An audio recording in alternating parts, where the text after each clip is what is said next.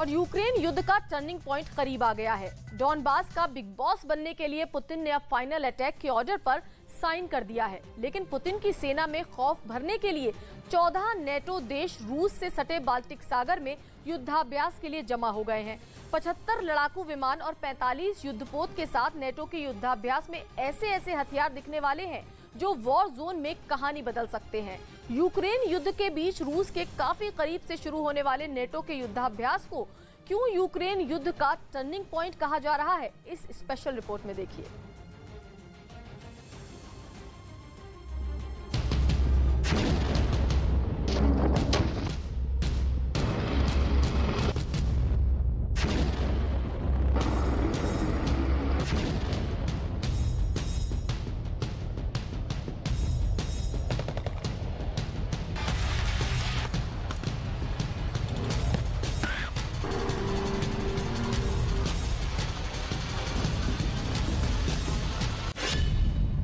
NATO की जंग वाली तैयारी। वीडियो नंबर एक।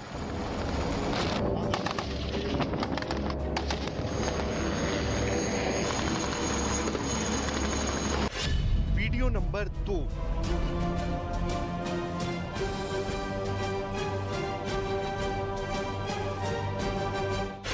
वीडियो नंबर तीन।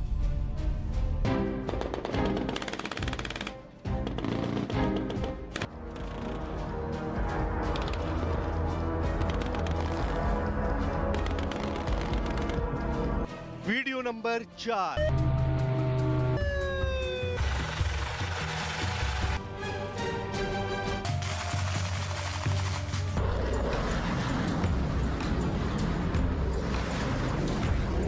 वीडियो नंबर पाँच।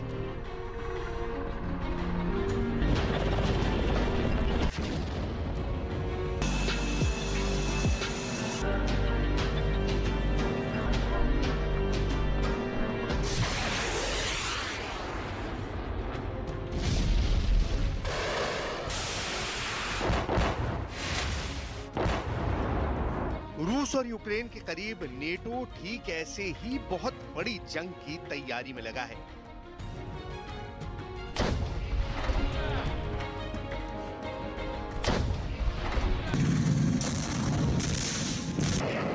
इस युद्ध अभ्यास में नेटो की नेवी शामिल हो रही है।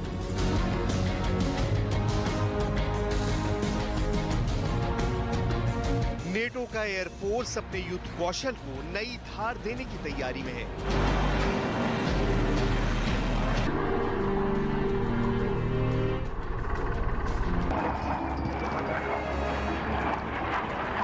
वहीं नेटो की जमीनी सेना भी शामिल होने जा रही है, जिसके हज़ारों सैनिक फ़िलहाल यूक्रेन के पड़ोस में बने तमाम नेटो के सैन्य कैंपों में मोर्चा संभाले हुए हैं।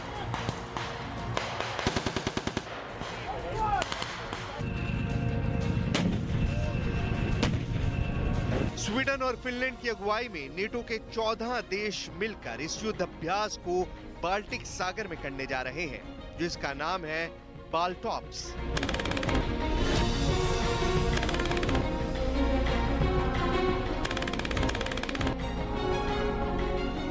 बाल्टिक सागर की यूक्रेन से दूरी 1346 किलोमीटर है। वहीं रूस की सीमा बाल्टिक सागर से मिलती है। रूस से सटे सागर में नेटो के इस युद्ध अभ्यास को करने का सीधा मतलब रूस को कड़ा संदेश देना माना जा रहा है। क्योंकि 100 दिनों की जंग के बाद रूस की सेना की तरफ़ से अब डॉनबास को जीतने के लिए फाइनल अटैक शुरू हो गया है।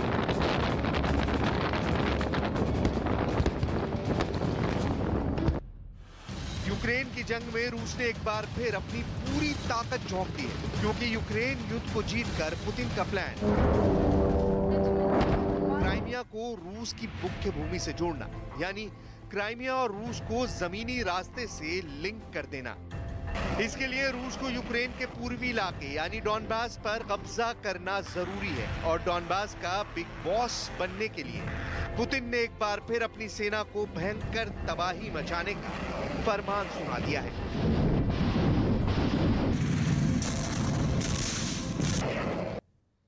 और उधर समंदर में बढ़ती रूस की धमक सीधे सीधे नेटो को चुनौती है। और यही वजह है कि नेटो ने भी इसके लिए अपनी तैयारियाँ तेज कर दी हैं। बाल्टिक सागर में नेटो का जो युद्धाभ्यास शुरू होने जा रहा है, वो कहने को तो पूर्वी यूरोप की सुरक्षा के लिए है, लेकिन यूक्रेन युद्ध के बीच इस युद्धाभ्यास को मॉस्को के लिए चुनौती के रूप में देखा जा रहा है। पुतिन के ऑर्डर का असर यूक्रेन की धरती पर साफ़ साफ़ दिख रहा है।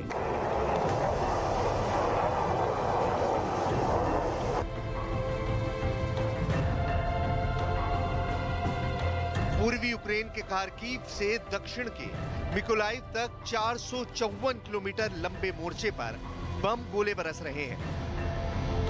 ऐसे में रूस की सेना को कड़ा संदेश देने के लिए नेटो ने अपने बेल्टॉप्स वॉर एक्सरसाइज को रूस से सटे बाल्टिक सागर में शुरू करने जा रहा है।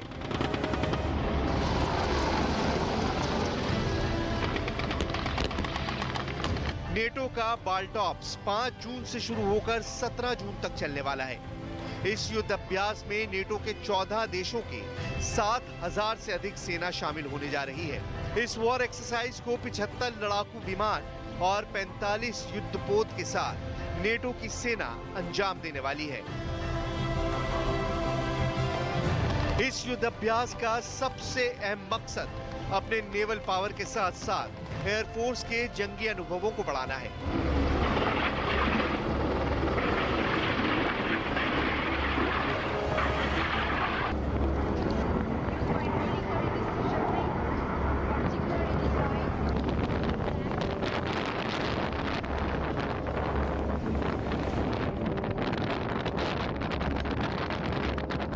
ठीक ऐसे ही नेटो के युद्धपोत बाल्टिक सागर में बारूद बरसाएँगे।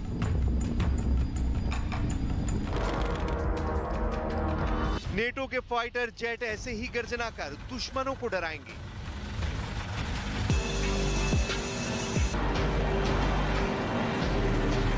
नेटो की सेना ठीक ऐसे ही युद्ध अभ्यास को अंजाम देकर किसी भी मुश्किल हालात में जंग को जीतने की तैयारी करेगी।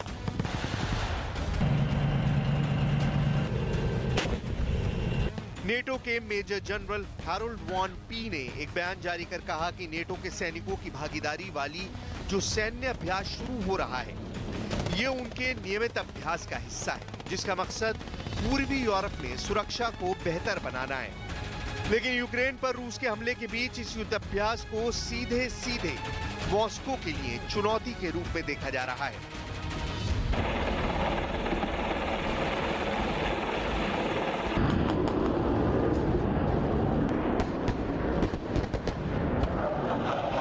Major general Harold von P का कहना है कि इस चुनौतीपूर्ण समय में हमें इस लंबे समय से चले आ रहे अभ्यास का समर्थन करने पर गर्व है, जो हमारे सहयोगियों और भागीदारों के लिए जटिल और सार्थक हवाई समुद्री एकीकरण को सक्षम बनाता है।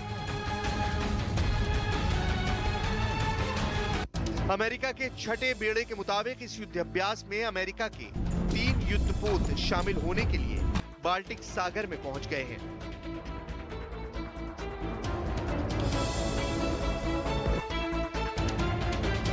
इनमें से पहला युद्धपोत बिग डैक एम्फीबियस युद्धपोत यूएसएस केयरसर्स है। दूसरा युद्धपोत यूएसएस गन्स्टन हॉल है। और तीसरा एंटी गाइडेड मिसाइल युद्धपोत यूएसएस ग्रेवली है। अमेरिका समेत नेटो के 14 देशों ने इस साझे युद्ध अभ्यास पर रूस के साथ साथ पूरी दुनिया की नज़र है। खास रूस की सेना तो इस युद्ध अभ्यास की पल पल की एक्टिविटी पर नज़र रखेगी। क्योंकि रूस नेटो को अपना सबसे बड़ा दुश्मन मानता है। और सौ से ज़्यादा दिनों से जो जंग पुतिन यूक्रेन के खिलाफ लड़ रहे हैं, उस जंग की सबसे अहम वजह है नेटो। आखिर नेटो को लेकर पुतिन के डर की वजह क्या है, उसे भी समझना ज़रूरी है। आखिर पुतिन को क्यों लग रहा है कि वो एक के बाद एक नेटो देशों से घिरते जा रहे हैं, दिखाते हैं इस रिपोर्ट में।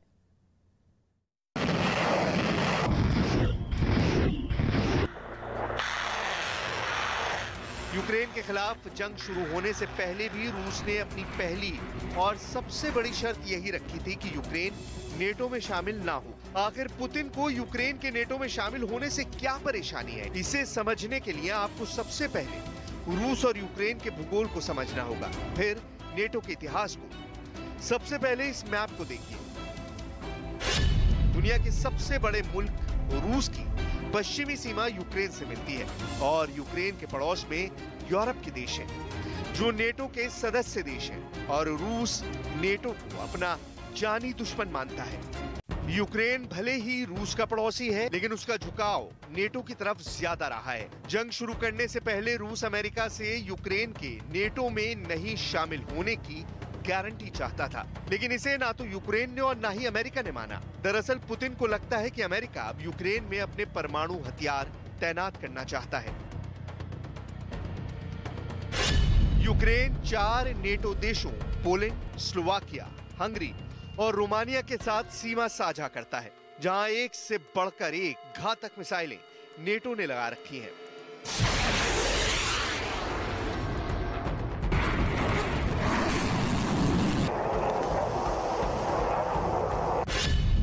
अमेरिका नेटो का सबसे बड़ा हिस्सेदार है यूरोप में अमेरिका के साठ हज़ार से भी अधिक सैनिक तैनात हैं। जर्मनी में सबसे ज़्यादा 119 बेस पर तैतीस हज़ार नौ सौ अड़तालीस अमेरिकी सैनिक मौजूद हैं।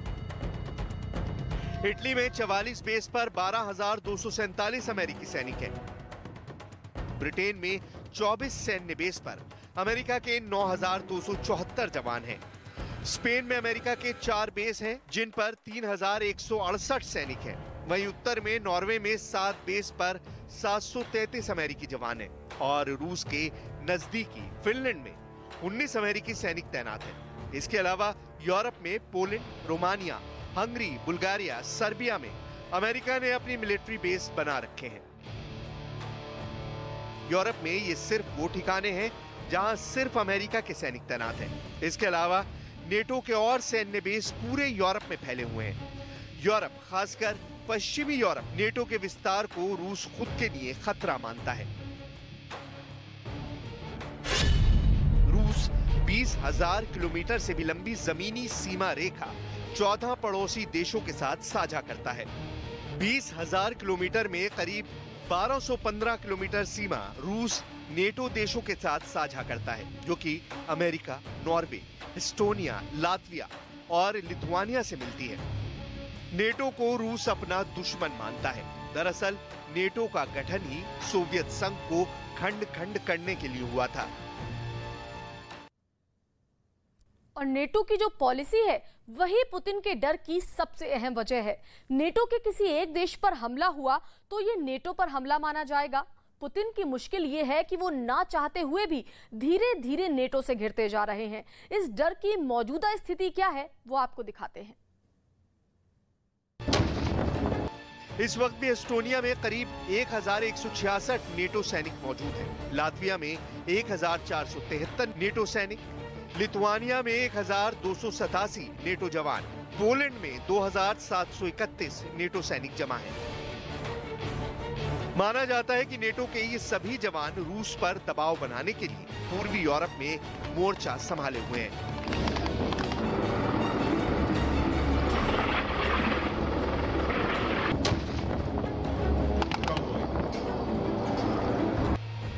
नॉर्थ अटलांटिक ट्रीटी ऑर्गेनाइजेशन, यानी नेटो, दूसरे विश्व युद्ध के बाद उन्नीस सौ उनचास में बना था।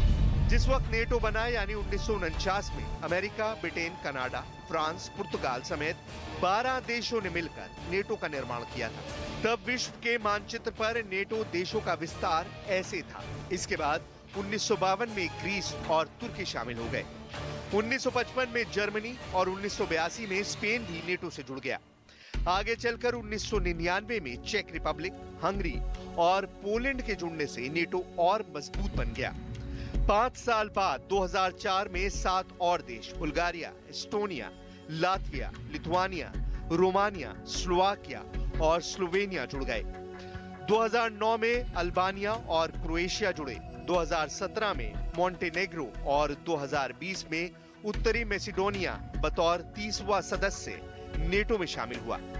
अभी नेटो में कुल 30 देश शामिल हैं। इन 30 देशों के साथ ही यूक्रेन, जॉर्जिया जैसे रूस के करीब मौजूद देश नेटो में शामिल होने की हसरत पाले हुए हैं। नेटो के सभी देशों ने आपस में कस्में खा रखी हैं कि किसी भी नेटो देश पर अगर हमला होता है तो उसे सभी सदस्य देश अपने ऊपर हमला मानेंगे और सभी 30 देश मिलकर हमला करने वाले का जवाब देंगे।